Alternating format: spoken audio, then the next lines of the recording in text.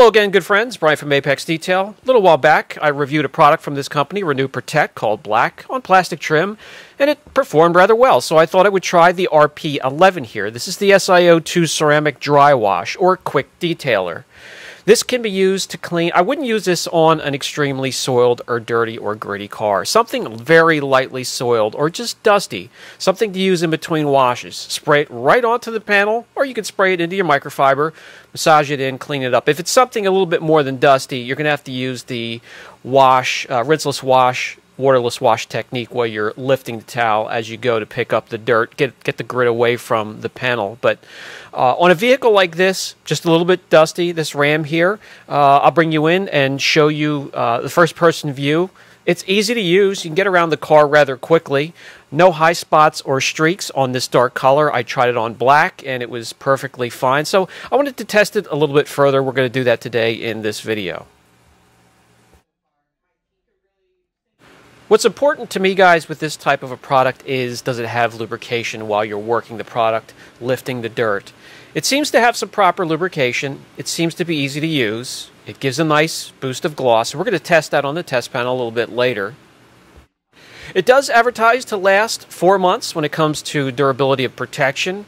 For a dry wash, that may be pushing it, maybe two to three months, but we'll see. You could use it on cars, RVs, boats, motorcycles, golf carts, tinted glass, acrylic, patio furniture, on and on. Uh, you can use it on plastic trim, chrome, aluminum, just about every surface on your vehicle. So let me get around the car quickly. We'll get it applied. We'll see what it looks like.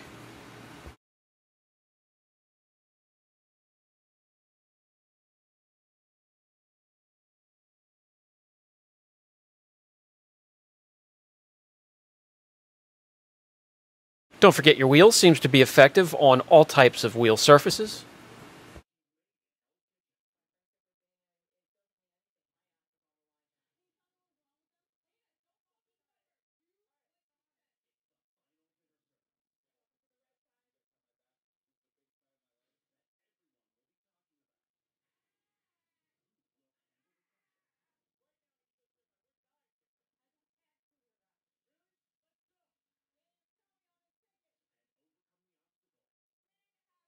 Headlights, taillights, chrome, chrome plated, plastic trim, mirrors, glass.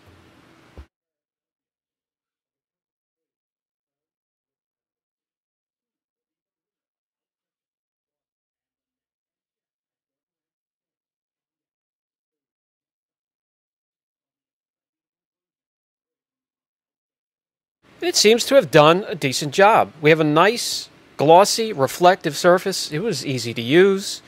There was plenty of lubrication there. Looking it up, you can get 16 ounces for $24.99. Seems a little on the high side. Um, I've used the Adams ceramic waterless wash and enjoyed that. Get something similar in size for 14 or $15. So it's something to compare the price to. But this does lay down um, a nice layer of gloss did clean the truck. Looks good. Let's get some numbers behind what we're seeing here. As you can see, not the highest numbers uh, we've recorded uh, here on the channel, but not bad either.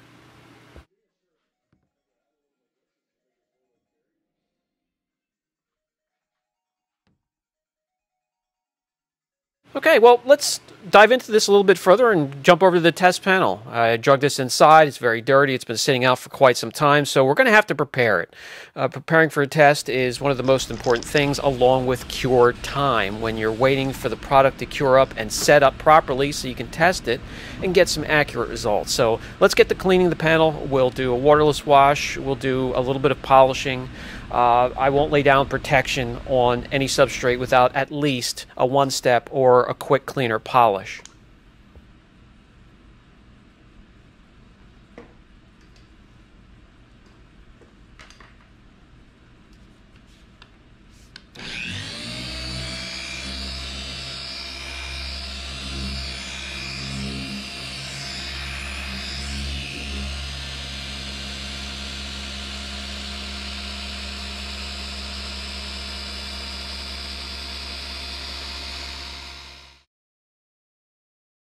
And we'll hit it with uh, panel prep and make sure there's no residue before we do apply the product. Let's get some before readings when it comes to gloss. This is a nice, squeaky clean, bare part of the test panel here, and it comes out to 80.0 GU. Let's get it applied. We're going to do two coats of the Renew Protect RP11. You can spray, again, right onto the panel or into a microfiber applicator if you want to.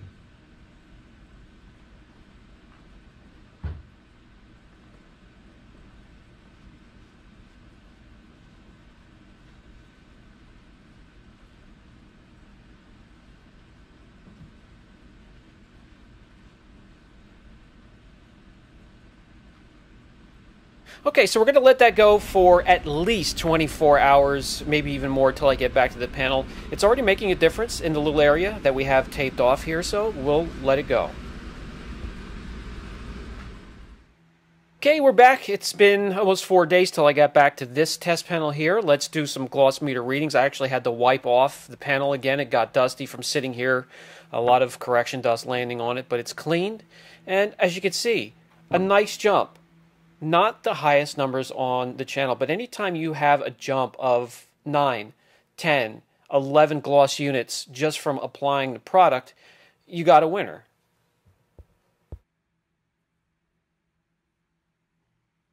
Okay, I could definitely feel slickness in the test area, so let's put our blocks down and test that as well.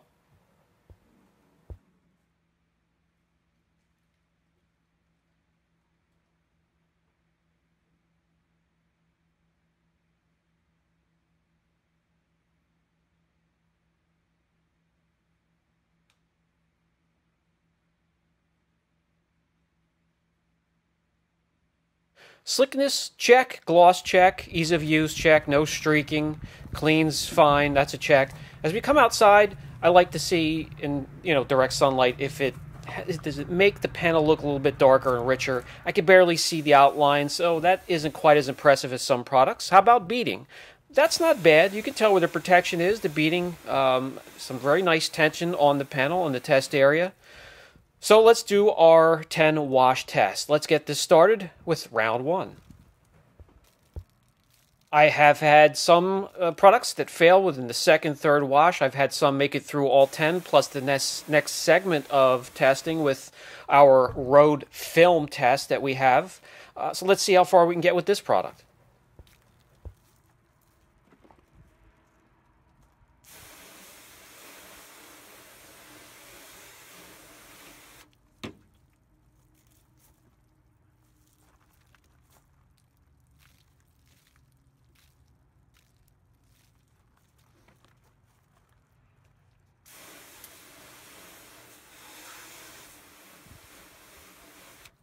So as we get into the third and fourth wash, we don't even have to worry about the contact angle of beading because there is no beading. It's it's sheeting now, and it's sheeting pretty fast. There is protection there. That doesn't mean the protection is gone. It just means the hydrophobic properties within the formula have weakened to a point where it's just sheeting, and that's where we are right now. So what we have left behind, the protection, it might be able to help with some environmental issues that could splash up on your car, but for the most part, uh, price Durability can be improved with this. Everything else works fine and just as advertised, so that I can pass along to you guys.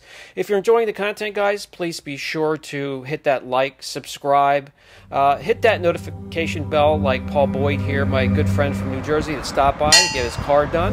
Uh, very nice to see you.